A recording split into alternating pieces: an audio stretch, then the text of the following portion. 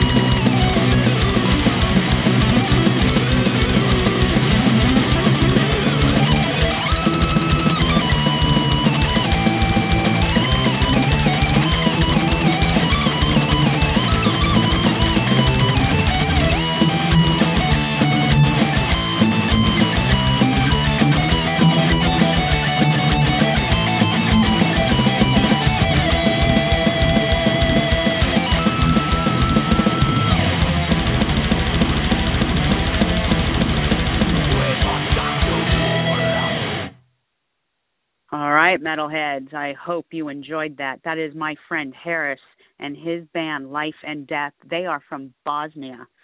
If you don't know where that is, Bosnia, Croatia, Herzegovina, former Yugoslavia. You know, some of you are um don't know your geography all that well. you know who you are.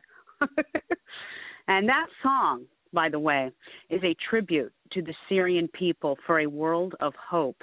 And I'm also going to extend that to the people of Palestine as well. Beautiful, awesome song, and I hope to hear a lot more from you guys. Harris, thank you, and and the band. Mwah. Hugs and kisses from America. That was awesome, and you guys rock. Now, I hope everyone's having an awesome Saturday night. I know I am.